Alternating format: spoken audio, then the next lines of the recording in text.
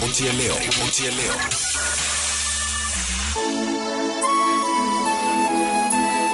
Yes, msikilizaji, leo ni siku njema sana, siku ya Jumatatu. Asante kwa kusikiliza EFM, asante kutufuatilia jioni ya leo. Bado tupo katika jioni ya leo na tupo katika sala mwisho ndani ya jioni ya leo mpaka saa moja tunakuwa pamoja hapa. Mimi ni Veronica Frenki.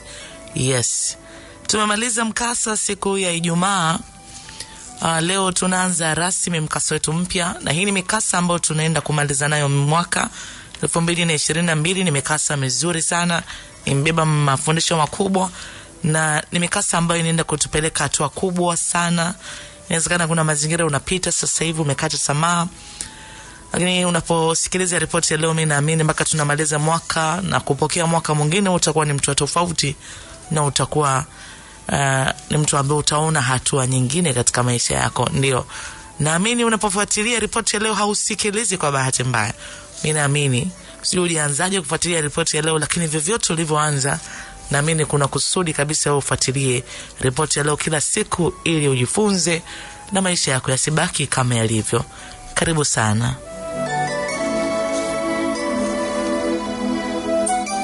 Tunazidi kuwashukuru wengi wengi wa watu ambao wanazidi kutuamini na kutuletea mikasa. Hakika mikasa ni mingi sana, na hii ambayo tunamaliza nayo mwaka ni ile ambayo tulishaiandaa. Kwa hiyo, lakini bado mlango uko wazi, tunakukaribisha sana utuletee mkasa wako, tutauwakilisha vyema kabisa, na moyo wako utakuwa na amani, kwa sababu kile ambacho unatamani kifike kitafika, na watu watavuka kupitia wewe. Tunamshukuru sana Frenki. Frenki ni muhusika wa mkasa ambao tupo nao katika msimu huu. Hakika simulizi yake ni nzuri, na hata tumeona hii inapendeza iwe simulizi ya kuelekeelekea kufunga mwaka elfu mbili na ishirini na mbili. Ni simulizi ambayo kwa hakika ukiisikia zaidi ya kukusisimua, lakini mengi yatakufunza. Ndio basi, mi takujuza mengi zaidi katika mwanzo. Leo tunaanza mkasa wetu, ndugu yetu mpendo wetu Frenki ambaye ndo ametupa mkasa huu na sisi tuna uanza leo rasmi katika ripoti ya leo. Haya. Haya ndo yale ambayo ndugu yetu Frenki ameyawakilisha, na mi Veronika basi nayawakilisha kwako, tena kwa kutumia lugha ya Kiswahili ambayo kwa hakika inaeleweka sana. Ndio. Frenki anasema, Frenki anasema, mimi ni kijana wa Kitanzania, nimezaliwa hapa Tanzania. Wazazi wangu, babangu na mamangu wote ni wa Tanzania na Frank anasema namshukuru Mungu kwenye maisha yangu. Maisha yangu kwa sehemu kubwa yamekuwa ni baraka. Mimi ni yule ambaye nasema nimemwona Mungu, nimeuona mkono wa Mungu tangu ningali nikiwa mdogo. Frank anasema na babangu na mamangu kiukweli ni watu ambao wamefanikiwa, Mungu amewabariki, wako na uchumi mzuri na Frank anasema mimi nimesoma, nimesoma shule nzuri zinazofanya vizuri sana, nimefika mpaka level ya chuo. Na Frank anasema katika familia sisi ni watu ambao wengi tumesoma, wanajitegemea kimaisha. Kwa hiyo kila mmoja ana maisha yake, na hakuna mtu ambaye kwa sehemu anamtegemea mwenzie au tuna, tunaegemea upande mmoja kwamba fulani ndo, ndo ana uwezo zaidi. Sisi kila mmoja ana, ana nafasi yake ya maisha yake, yani mazuri mazuri mazuri. Na Frenki anasema nilipomaliza tu masomo yangu sikuchukua muda mrefu sana, nilipata kazi. Frenki anasema nilipata kazi katika benki moja hapa mjini. Frenki anasema basi nikaanza kufanya zangu kazi. Kiukweli sijapitia misukosuko yoyote, hata mimi nisimame niseme kuna misukosuko mi nimepitia katika harakati zangu za masomo. Nimepata kazi kwa urahisi. Unajua ile kuna wale wana struggle, unakuta mtu muda mrefu sana, sasa nimetafuta kazi sana. Mimi kwangu hiyo haiku sikupitia mazingira. Na Frank anasema nikisema ni maisha mepesi, nina ninamaanisha yani, siwezi kusema kuna magumu nimepitia. Yani kwangu mimi mambo mengi yalikuwa ni mepesi kwangu. Frengi anasema namshukuru Mungu sana katika hayo. Frenki anasema mimi ni kijana smart sana, achilia tu nafasi ya usomi ambayo niko nayo, lakini mi ni kijana smart kwa mwonekano, niko smart sana. na vitu navipenda sana ambavyo vimekuwa vikinifanya pia niendelee kuwa smart. Napenda sana mazoezi.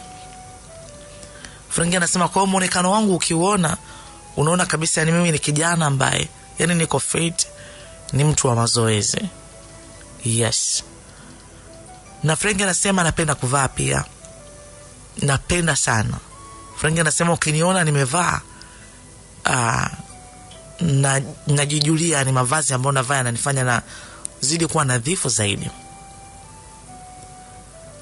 Frank anasema napenda marashi, ni mtu wa kunukia, ninanukia vizuri, lakini ni kijana ambaye sijapata misukosuko, lakini nimepata kazi kwa mapema. Kwa hiyo nilianza kumiliki uchumi mzuri nikiwa bado kijana mdogo, na hata nilipoanza kazi pia nilipatana, nilikutana na neema za hapa na pale katika kazi ambayo nafanya ya kunifanya ni, ni, nipate mshiko yani ni, niwe ni mtu wa kushika pesa.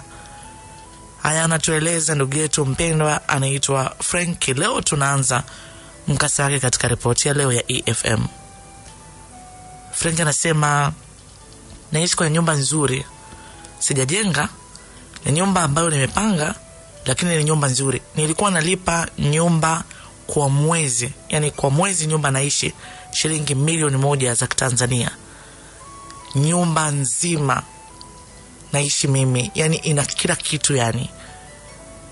Kwa hiyo ukinivutia picha, mi ni kijana wa namna gani? Yani ni kijana ambaye najipenda, napenda vitu vyangu, niko hivyo. Franki anasema jinsi ambavyo nimejiweka, nilikuwa napendwa sana na wanawake. Wengi anasema kwa mfano kazini, yani mimi kupendwa na wanawake ni kitu cha kawaida yani hata mwanamke kukufuata kuku, yani kukuonyesha dalili kabisa kwamba ni mimi nakuhitaji mimi kama frenki au mazingira nimekutana nayo sana. Franki anasema mimi sinaga kauli za kumapproach mwanamke, yani kumwambia unajua, au kumfukuzia kwamba nakupenda nakupenda, sina. Yani mimi ni yule wa kushika mkono, twende twende, nimemaliza. Sinaga hiyo historia ya kumfuatilia msichana na Franki anasema wasichana ambao mimi wananipenda wana, wana ni wasichana wale ambao sio, sio, sio tu wasichana, yani wale wenyewe wenyewe wale, yani msichana mrembo mrembo kweli kweli. Anatueleza haya ndugu yetu mpendwa anaitwa Frenki. Yes, mimi niko hapa Veronica kuwakilisha hiki kitu ambacho ndugu yetu Frenki anashia pamoja na sisi. Hakika utakaposikia mkasa wa Frenki, naamini maisha yako, hatua zako, mitazamo yako haitabaki kama ilivyo.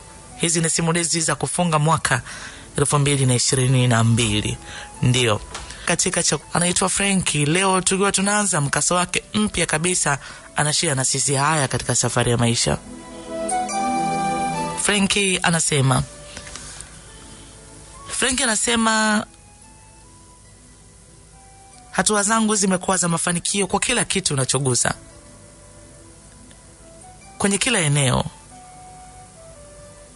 Napata fursa nyingi sana mbele yangu, yaani wakati wengine wakilalamika, mimi kwangu mambo yanaenda kwa uwepesi sana. Kwa hiyo namshukuru Mungu sana. Nikisema na bahati, sijui sijui, lakini kwa kweli nimeona wepesi katika hatua zangu.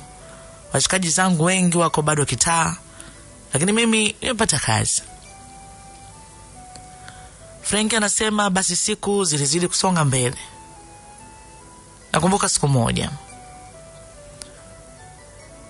Frank anasema nilipigiwa simu na mama mamangu, akaniambia Frenki, uje nyumbani, kuna jambo hapa tunataka tulifanye.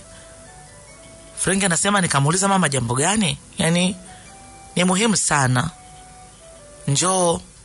Frank anasema basi mi nikafanya zangu ratiba zangu nikiweka vizuri. Frank anasema kweli, nikaenda moja kwa moja mpaka kwa mama. Mama kaniambia tunataka tufanye ibada ya shukurani, tumshukuru Mungu. Nikamwambia mama sawa. Sasa mamangu, mamangu ni mtu ambaye anapenda sana mambo ya ibada, ibada hizi anapenda sana. Kwa hiyo kuna mahali mama yeye anaabudu kwa sasa hivi, yani sio sio sio sio makanisa au sio makanisa ambayo tulikuwa tumekulia sisi. Yani yeye alipokuwa alipofika mahali akaona kwamba nataka, nataka nibadilishe maisha yangu nimrudie mungu zaidi kuna makanisa ambayo yeye alikuwa anaenda kuabudu. Sisi hatujawa mfuasi na yeye. Sisi bado tulizidi ku, kuabudu kwenye misingi ya imani ya, ile ya mwanzo ambayo tuli tumekuwa nayo. Kwa mama yeye ndo alikuwa na, anaenda sana huko. Mimi sijawahi kuambatana na mama kwenda huko Frank anasema kwa hiyo mama anasema nataka kufanya ibada ya shukurani kule kanisani ambako yanasali. Kwa hiyo anataka wote tushiriki katika kufanya ibada ya shukurani. Frank anasema nikamwambia mama, ungeniambia kwa simu ningekuelewa. Yuko ah, nimekuita ili niwasisitize. Kila mmoja nimemuita, kila mmoja nimemuita. Hii ibada ya shukurani nafanya ni kubwa, nataka nimshukuru Mungu. Nyinyi mnaona tu mambo yanaenda, mambo yanafanikiwa. Unaona sasa hivi mambo yako yanaenda, unaona tu mambo yanaenda. Maombi mimi kama mama nayoomba yanaleta kibali kwa nyinyi vijana, ndio maana mnaona milango inafunguka. Nikaambia mama, hilo sipingi na wala sikatai, naamini baraka zako ndoga zinanitangulia. Sipingi mama, na siwezi kukataa. Yani ukataa kwenda wewe kufanya ibada ya shukrani nisije? Hapana mama, nitakuja. Frank anasema tukazungumza na mama tukacheka tukafurahi pamoja. Basi tazidi kukukumbusha mwanangu, ni sentensi ambayo mama aliniambia. Sawa, niliondoka na kuendelea na maisha yangu kama kawaida. Kweli maandalizi yalikuwepo, mama alikuwa anataka kufanya kitu kikubwa kwa ajili ya kumshukuru Mungu. Anatueleza maneno haya ndugu yetu mpendwa, rafiki anaitwa Frank. Frank anasema basi siku ambayo ibada ya shukurani mama ndo alikuwa anaifanya. Mama alitaka tutokee pale nyumbani wote, tutokee pale nyumbani wote, na tutarudi tutapata chakula wote, lakini yeye anataka kwenda madhabahuni kumshukuru Mungu. Tunamuuliza mu, mama, unataka kumshukuru Mungu? Kila siku tunamshukuru Mungu, unataka kumshukuru Mungu kwa kipi? Mama anasema nataka nimshukuru Mungu kwa kila kitu, vingine utaenda kujua huko, lakini Mungu amenionekania sana unaona vitu vinaenda kila kitu unamwona babako anafanikiwa mambo yanaenda mimi napambana mambo yanaenda. Nimeona nimshukuru mungu katika viwango ambavyo sijawahi kumshukuru mungu. Kamwambia sawa. Kila mmoja anamuunga mama mkono kwa sababu kiukweli maisha yetu yamekuwa na baraka sana. Kwa tunaamini mkono wa mungu umekuwa pamoja na hii familia sana kwa kutulinda. Sisi tumekuwa ni watu wa kupokea habari nzuri habari za baraka habari habari mbaya sisi hazina nafasi tumekuwa ni watu wa kutoka hatua moja kwenda hatua nyingine.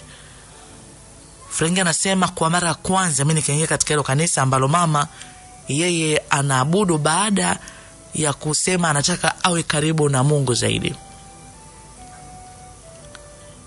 Frengi anasema basi tumefika pale ni kanisa ambalo hatujawai kuabudu kwao ndo tuna, tumefika siku ya kwanza. Kuna taratibu zao ambazo wanazifanya na mama alisema tutulie kwa sababu kuna muda wa shukurani. Yani kuna utaratibu wanaanza nao alafu kuna muda wa shukurani sisi ndo tutapata hiyo nafasi. Na mama alisema nitakapoitwa nyinyi nyote mnapanda hapo mbele kwa ajili ya kumshukuru mungu pamoja ni madhabauni.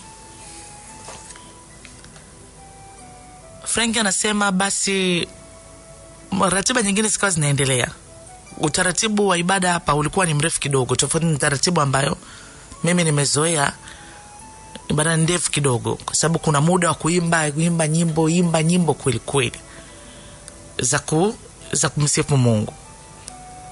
Winnie o oh, Frankie majina tena. Hatari haya haya ni yale ambayo ndugu yetu frenki anashea na sisi. Wini tena. Merudi wiki iliyopita ubongo bado una unasoma una, una, una wini. Haya. Ripoti ya leo ripoti ya leo. Ndugu yetu mpendo wetu anaitwa frenki akiendelea kushea pamoja na sisi. Frenki anasema frenki anasema basi ulifika muda waka tangaza pale kuna kwaya. Na kwaya kwenye hiyo madhabahu hiyo kanisa watu wataimba. Kuna kwaya ikatamkwa pale watu wakapiga makofi. Sasa na sisi kwa sababu ni wageni tumekuja hapa tukapiga makofi. Frank anasema basi wakapanda wanakwaya kapanda hapo wanakwaya wakaanza kuimba. Frank anasema basi nikawa nasikiliza kwaya watu wanaimba. Frank anasema wakati nimetulia nasikiliza kwaya watu wanaimba. Franki anasema nilisikia sauti. Nimeisha sikia sauti nyingi. Kwenye maisha yangu naishi sauti za kipekee. Naamini hata wewe pia katika nafasi ya kusikia kwaya au nyimbo mbalimbali ushavutiwa na, na sauti nyingi. Ushapenda sauti nyingi. Na frank anasema katika vitu mi napenda napenda sana mziki penda sana lakini sijawahi kuvutiwa na sauti kiwango hiki. Frenki anasema nilisikia sauti yani sauti unasikia mpaka unasikia yani unasikia hadi kusisimka yani sasa wengine utafsiri kwamba kama ni nguvu za mungu yani uwepo wa mungu yani hiyo sauti inakuwa na, na nguvu za mungu kuna tafsiri zake. Lakini mimi nilisikia sauti nikawa natafuta hii sauti ni ya nani? Yani katika hawa ambao wako hapa mbele nani anaimba sauti kama hii frank anasema ndipo nilimwona msichana ambaye anaimba hiyo sauti. Na frank anasema hao wasichana wamevaa mavazi ya kujistiri sana. Yaani mavazi kama majoho fulani makubwa kubwa hivi. Kwa hiyo kusema unaweza ukamwona vizuri sana lakini nikamwangalia kwa usoni. Ni msichana mweusi. Na nilivyozidi kumwangalia ni msichana mwenye mwanya yaani ana, ana mwanya lakini nilivutiwa sana na namna ambavyo anaimba. Frank anasema basi muda ulienda muda wa kutambu muda wa ku, kufanya ile ibada yetu ya shukurani ukawa umefika. Na mama alikaribishwa pale mbele mama akapanda na sisi tukapanda wote watoto tulikuwa tumekuja hapo wote na ndugu ndugu wengine tupo hapo tumekuja na mama akapata nafasi ya kushika mike na mama akaanza kutoa maneno yake ya shukurani mbele za mungu. Mama alisema maneno hayo: namshukuru mungu sana. Nimemwona mungu ingali nikiwa binti mdogo hajawahi kuniacha.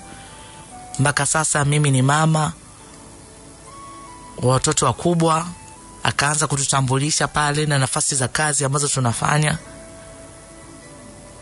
Mama akasema ni maombi yangu. Yani haya ni maombi yangu mimi kama mama. Watoto wangu waukaribie uso wa mungu kwa ukaribu. Maombi yangu wawe na hofu ya mungu. Haya ni maombi mimi kama mama nayomba kila siku. Na namshukuru mungu pamoja kwamba sio hawaambatani na mimi kuja hapa kila siku lakini ni watu ambao kila siku wanaendelea kuwa wema na nazidi kumshukuru mungu kwa ajili yao. Mengi mama alishukuru mungu. Mama alizungumza pale madhabauni vitu ambavyo hata mi sikuwa navijua. Mama amenunua kiwanja yani alitoa mama kiwanja kama sehemu ya kumshukuru mungu kwa ajili ya hiyo kanisa likajengwe pale kwa sababu hapa inaonekana ni kama sehemu wamepanga likajengwe pale. Na si ndio ikawa kama surprise kwetu hatukuwa tuna, tunajua. Lakini mama alikuwa na bahasha. Na sisi sote mama alituambia tupeleke madhabauni kitu kilichonona kama sehemu ya, ku, m, ya kupeleka madhabauni. Wakati mungu anabariki shukurani basi na sisi hizi baraka zisitupite. Maneno kama hayo mama amekuwa akituambia mara kwa mara. Frank anasema basi tulikamilisha hilo zoezi. Kamilisha hapo kabisa. Tumemaliza. Ibada iliendelea kama kawaida neno la mungu ikaendelea wale watu wakarudi tena kuimba nikasikia tena nyimbo nyingine ibada ikamalizika. Frank anasema ibada imemalizika pale basi mama watu ana mpa mkono nini mungu akubariki mungu akubariki nyingi kuona nasi tukaa hapo kwa sababu mama alisema subirini subirini yaani mama anataka twende atupeleke kwa mtumishi wa mungu aende akatuwekea mikono na nini. Sasa mama akishasema la kwake hata kama mmechoka, kwa sababu ibada ilikuwa ndefu, lakini ilibidi tuwe wapole, tusubiri. Frank anasema tumesubiri pale maelekezo ya mama, tukapelekwa wote kwenye ofisi ya mchungaji. Tukafika pale, mchungaji aka akatusalimia tena, akasema mama yenu anawaombea sana, akasema amina. Basi